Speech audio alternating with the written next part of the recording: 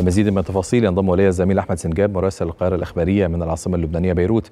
أحمد بعد التحية يعني فيما يبدو أن هناك تصعيد كبير تصعيد آخر من قبل لبنان وحزب الله على الحدود الجنوبية للبنان الشمالية لإسرائيل آخر التحديثات آخر التطورات فيما يتعلق بهذا التصعيد وانعكاسه على الجانب اللبناني.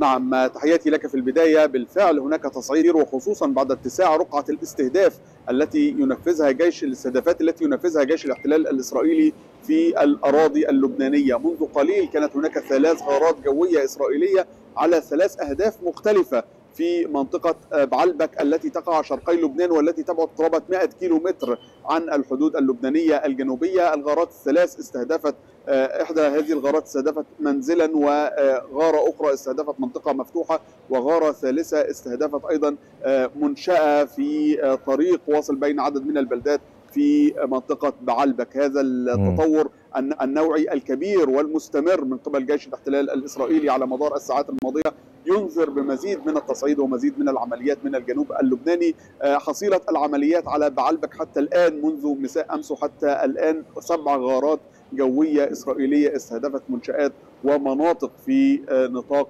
محافظة بعلبك وهذا التطور هو تطور كبير وخطير نعم. لأن هذه المنطقة لم تستهدف بهذه الكثافة منذ انتهاء حرب تموز عام 2006 م. في المقابل نفذ حزب الله اللبناني اليوم عمليتين من الجنوب اللبناني ربما أكبر هذه العمليات كان استهداف مقر لقيادة الدفاع الجوي وأيضا المسيرات في قاعدة عسكرية إسرائيلية. تبعد برضو أيضا بمسافة كبيرة عن الحدود الجنوبية تم استهدافها بأكثر من 100 صاروخ قبل في الساعات الأولى من صباح اليوم. كانت هناك أيضا عملية تجاه إحدى المنشآت العسكرية الإسرائيلية المتاخمة للحدود ولكن العمليتين جاءتا ردا على الاعتداء على منطقة بعلبك مساء أمس ولكن التطور اليوم والعمليات النفذت اليوم من قبل جيش الاحتلال الإسرائيلي في بعلبك بالتأكيد ستستسمع ردا من قبل حزب الله خلال الساعات المقبلة وهو ما ينذر بتصعيد خطير على الجبهه الجنوبية اللبنانية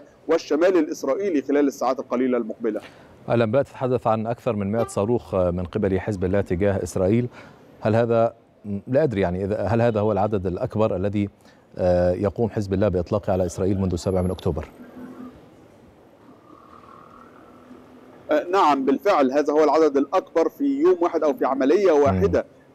من الجنوب اللبناني باتجاه عسكرية إسرائيلية هذه العملية جاءت ردا وربما انتقاما من الاستهداف الذي طال أربع مناطق بعلبك مساء أمس وهذا التطور أو هذا الاعتداء هو اعتداء نوعي يوسع من دائرة الاستهدافات الإسرائيلية في الدولة اللبنانية. فبالتالي كان الرد بهذه الكمية من الصواريخ تجاه هدف واحد في عملية واحدة نفذت في السابعة من صباح اليوم وفقا لبيان لحزب الله. وحزب الله من المرات الأساسية والمرات القليلة التي يتحدث فيها عن سبب هذا الاستهداف أنه ردا على الاعتداءات في بعلبك على المدنيين وخصوصا أن هذه الاعتداءات أسفرت عن استشهاد مدني على الأقل وإصابة ستة آخرين فضلا عن خسائر مادية كثيرة بالإضافة أيضا إلى أن بعلبك دخلت في دائرة الاستهداف الإسرائيلي بشكل كبير مما قد يستتبع أيضا إجراءات أو عمليات نزوح أو م. توسيع لدائرة الاستهداف في الأراضي اللبنانية وأيضا نذر الحرب المفتوحة